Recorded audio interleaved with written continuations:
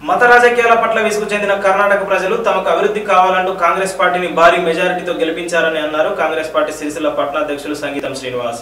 ఈ రోజు రాజన్న సిరిసిల్ల జిల్లా కేంద్రంలోని గాంధీ చౌక్ వద్ద కర్ణాటక శాసనసభ ఎన్నికల్లో కాంగ్రెస్ పార్టీ విజయం సాధించిన పట్ల సంతోషం వ్యక్తం చేస్తూ పార్టీ శ్రేణులతో కలిసి సంబరాలు జరిపారు. ఈ సందర్భంగా పటాకులు పేల్చి స్వీట్లు పంపిణీ చేశారు. కార్యక్రమంలో కాంగ్రెస్ పార్టీ మాజీ జిల్లా అధ్యక్షులు నాగుల సత్యనారాయణ ఎస్సీసీల అధ్యక్షులు ఆకునూరు బాలరాజు మహిళా కాంగ్రెస్ అధ్యక్షురాలు కామిని వనిత యూత్ కాంగ్రెస్ అధ్యక్షుడు సంగీతం శ్రీనాథ్ బ్లాక్ కాంగ్రెస్ అధ్యక్షుడు సూర్యదేవరాజ్ నాయకులు షేక్ రియాజ్ మంగ కిరణ్ బాలకృష్ణయ్య తదితరులు పాల్గొన్నారు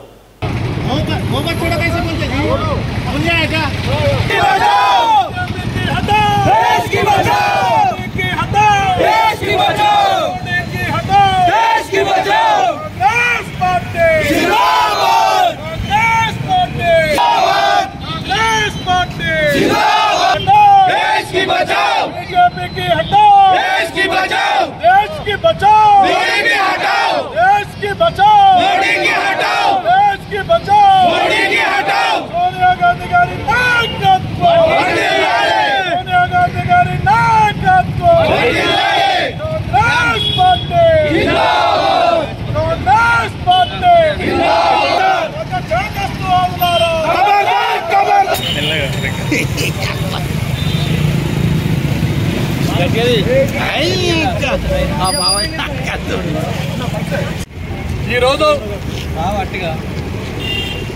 మత సాందసం మీద ఓట్లు దండకోవాలని చూసినటువంటి బీజేపీ పార్టీ యొక్క కుట్రను బద్దలు చేస్తూ కర్ణాటకలో బడగు బలహీన వర్గాలు అక్కడ ఉన్నటువంటి ప్రజలందరూ కూడా రేపు ఫ్యూచర్ భవిష్యత్తు కాంగ్రెస్ పార్టీ వస్తేనే మా జీవితాలు బలపడతాయి.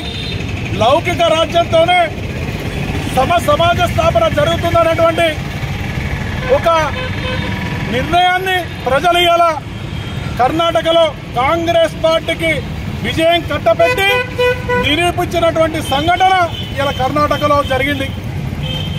కాంగ్రెస్ పార్టీకి విజయదుందుబి మోగించి ఈరోజు కర్ణాటకలో కాంగ్రెస్ పార్టీ అక్కడ అసెంబ్లీ మీద కాంగ్రెస్ పార్టీ జెండా ఎరిగేటువంటి పరిస్థితి.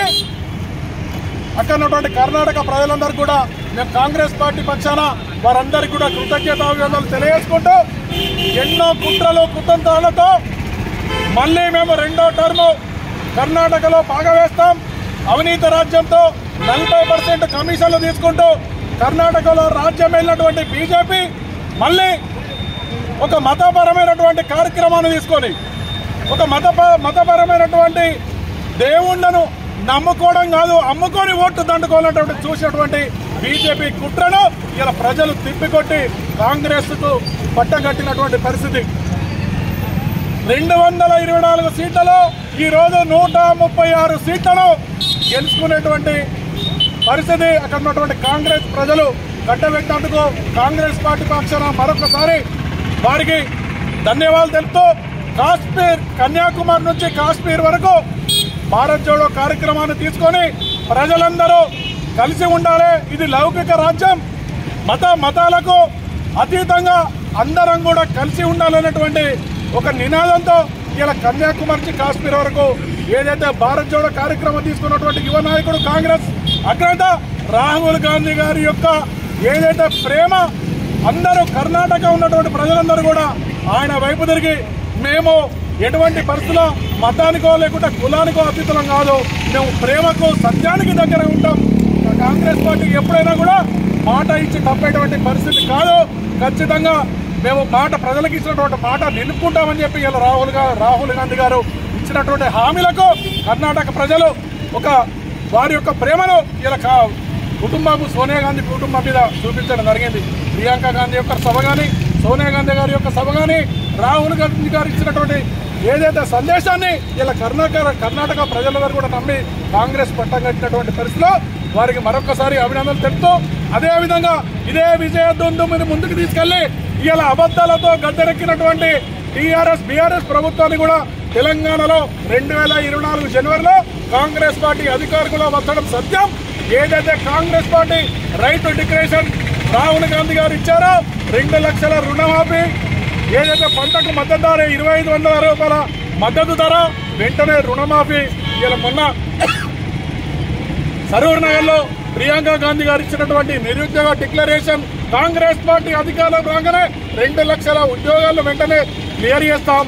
ఏదైతే అమరవీరుల కుటుంబాలకు ఇరవై ఐదు వేల రూపాయల పెన్షన్ ఇస్తాం ఆ కుటుంబానికి ప్రభుత్వ ఉద్యోగాన్ని కల్పిస్తాం అని చెప్పినటువంటి నిరుద్యోగులకు ఇలా కాంగ్రెస్ ఏదైతే టీఆర్ఎస్ ప్రభుత్వం మూడు వేల వృత్తిని బట్టలు కలిపినటువంటి పరిస్థితిలో కాంగ్రెస్ పార్టీ అధికారులకు రాగానే నాలుగు వేల రూపాయల నిరుద్యోగ వృత్తిని కల్పించేటటువంటి ఇటువంటి కార్యక్రమాలు తీసుకొని కాంగ్రెస్ పార్టీ ముందుకెళ్తుంది. కలిసికట్టుగా కాంగ్రెస్ పార్టీ రెండు వేల ఇరవై నాలుగులో తప్పనిసరిగా తెలంగాణలో బయట విజయ దుంది మోగించి తెలంగాణలో కాంగ్రెస్ పార్టీ రావడం ఖాయం. దానికి మావంత కార్యక్రమం కూడా ఒక సైనికుల వలె ఇక్కడ కార్యక్రమం తీసుకొని కాంగ్రెస్ పట్టంగా దేశవ్యాప్తంగా చూస్తున్న కర్ణాటక ఎన్నికల సౌరంభంలో వాళ్ళు ఇచ్చిన తీర్పును చూస్తూ ఉన్నది. అఖిల భారత కాంగ్రెస్ పార్టీ అధ్యక్షులు ఖర్గే గారు ఏసీసీ జనరల్ సెక్రటరీ ప్రియాంక గారు రాష్ట్ర అధ్యక్షుడు డికే శివకుమార్ గారు సిద్ధరామయ్య గారు అందరూ కలిసి కట్టుగా పోరాటం చేసింది. ఫలితమే ఇవాళ పేద బడుగు బలహీన వర్గాల ప్రభుత్వం ఏర్పడడానికి నాంది పలికింది. ఇది మా రాహుల్ గాంధీ గారి భారత్ జోడో యాత్ర ఎప్పుడైతే కర్ణాటక నుండి ప్రవేశించిందో అప్పటి నుండే కాంగ్రెస్ పార్టీకి మనకు అక్కడ ప్రజలకు అక్కడ జరిగిన దోపిడీ విధానానికి ఈరోజు అక్కడ ఒక ఫార్టీ పర్సెంట్ కంటాక్ట్ ఎమ్మెల్యే నిలుచుకుంటుంది అంటే ఏం పరిస్థితి ఈ బీజేపీ అవినీతి ప్రభుత్వాన్ని? తీసుకొని ఇలా మా రాహుల్ గాంధీ గారు ఇంత ముందే ప్రశ్న మాట్లాడేది ఏమా గెలిచింది విద్వేషం ఓడింది? హండ్రెడ్ పర్సెంట్ కరెక్ట్ అది. ఈరోజు కర్ణాటకలో వచ్చిన తీర్పులు మహిళలది పెద్ద పాత్ర ఉంది. మా- ముఖ్యంగా చెప్పాల్సింది ఏంటంటే ముందు వచ్చేది మన తెలంగాణ ఎన్నికలు. కూడా మా పాత్ర లేడీస్ చాలా ఉంటుందని నేను కోరుకుంటున్నాను కర్ణాటక ప్రజలు